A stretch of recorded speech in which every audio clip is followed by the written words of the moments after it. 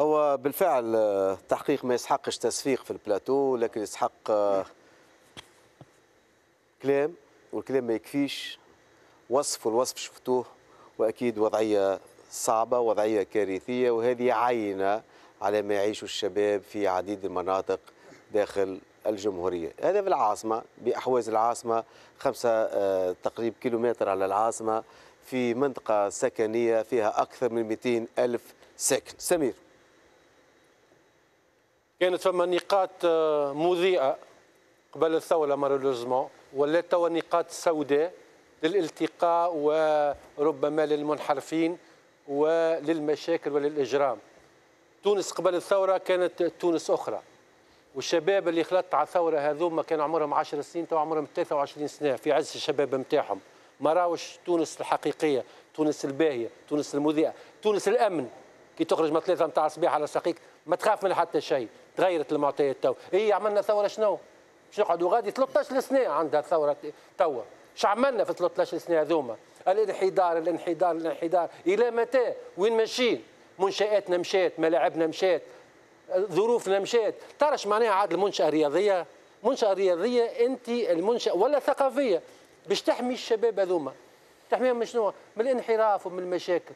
تربح على كل المستويات الفكر بتاع المجتمع يرتفع الصحة ترتفع لأنه الإجرام والمشاكل هذوما ينعكس على كل شيء على حالتنا الاجتماعية وعلى الصحية وعلى الاجتماعية وعلى كل شيء. وبالتالي متى إحنا قاعدين نشوفوا في الأشياء هذوما يا عادل؟ شيء آسف. فريمون معناها إحنا كنحس معناها كشعب تونسي نحسوا على بلادنا كيفاش ولات.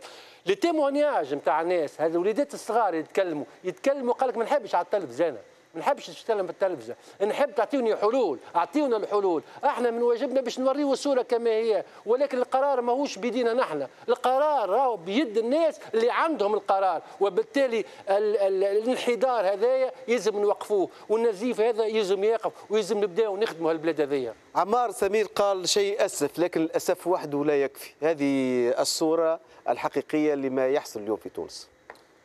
شيء بصراحة يحزن القلب. المفروض أنه يعني شخصيا كان جيت مسؤول في الدولة أول حاجة نعملها الساعة نمشي للمناطق هذوما باش ما يكثرش فيهم الإجرام وما تكثرش فيهم تشوف فيه أنت ولاد عمره ثمانية سنين. قال لك يعني يقول لنا أعطيني شوية حل قال لك نجم نلم ماني ونعطي من جيبي. معناها يوريك الناس أني راهي ما تحبش تمشي للانحراف.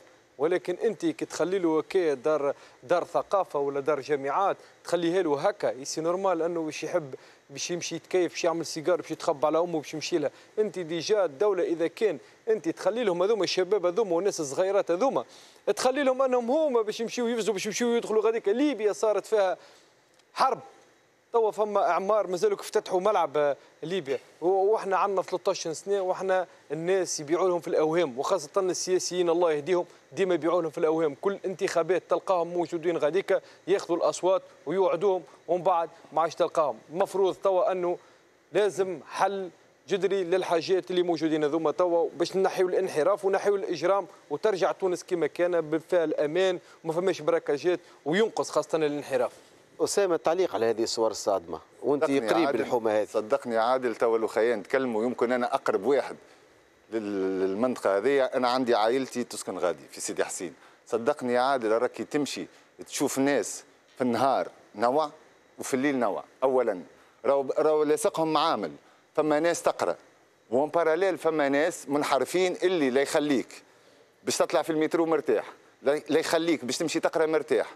راهو شوف سيدي حسين أنا نعرفها مليح. يا عادل تقول لي انت حرقوا في الثورة. OK حرقوا في الثورة. تو نحن عندنا 13 سنة. في 13 سنة انت المبنى هذا تنجم تدهن وتعاود قد وتعاود ترجعه كما هو. يعني المسؤولين اللي غاديك صدقني يا عادل لا مبالاة. على قلب ال 200 ألف دينار تحط في الحديد نتاع الساد الزويتري مثلا راهو مثلا صلحوا بها المنطقة هذه. تو هي البنية هذه اللي قاعدين نشوفوا فيها هي déjà مبنية يعني كانت نجم تنظفها إيه. وتدهنها وكذا وترجعها كما كانت. هاي مبنية العروس مرقلين صدقني يا سمير تمشي غاديك قلبك يغم عليك.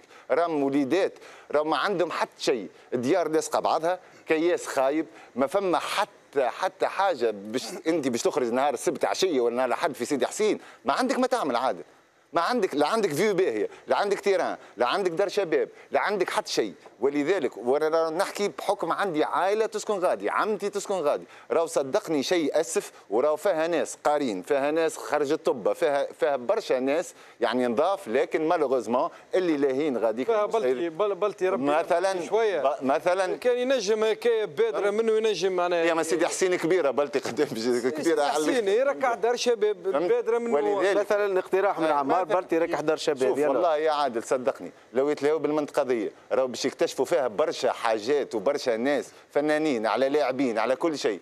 إن شاء الله ربي معاهم وإن شاء الله اللي لاهين غاديك بالبلديات وبالدنيا يفيقوا شوية. يلا كلمه كلمة رضوان. أنا يظهر لي وقع يتفاعل ما عادش وقت كلام فقط. لازم المسؤولين يهبطوا من الساحل العاج نتاعهم ويهبطوا من الأبراج نتاعهم ويشوفوا البلايص هذه وخاصة يلقاو حلول لأنه ينجموا حتى بعلاقاتهم الخاصة. يمشي l'homme d'affaires منا يمشي ال- الواحد معناتها عنده مقدور كذا يا خويا إجا تكفل لنا بالمدرسة الفلانية بدار الشباب بدار الثقافه راهم هذوما كانوا يتلموا فيهم صغيرات وما خفي كان أعظم لأنه vraiment أماكن كيما هذه. اللي كان باش اللي باش يمشي يعمل لك سيجار ولا باش يمشي يتعلم لك الفساد ولا ال braquage يقعد غادي ويتعلم activité وفما المواهب كما كنت تحكي. الحاجة الأهم من هذه ارتفاع نسبة العنف في البلاد. راهي نتيجة مباشرة للأهمال هذايا وللمظاهر اللي نشوفوا فيها. الأهمال والنسيان تعليقك. هو عادل يعني بصراحة. تسكر له دار شباب كيما هكاك في منطقة كيما سيدي حسين اللي فيها 250 ألف ساكن. والشباب معناها ما شاء الله غاديك حدث ولا حرج. هذه مش دار شباب هذه دار الهلاك. لأنه كي تسكر له أنت دار شباب كيما هكا يعني خلينا نقولها يعني برا مشي أسرق برا كيف الكوكا برا كيف الزطلة برا براكي. بعد هذا كل شيء يساوي. هذه قراءتك. هذه قراءتي أنا. أنا ولد حومه شعبية ولد الكرم. donc آه، يشبهوا لبعضهم شوية donc من بعد هذا الكل يساوي الحبس. برشا شباب اليوم نتيجة معناها قرار تاع مسؤول عدم اللامبالاة.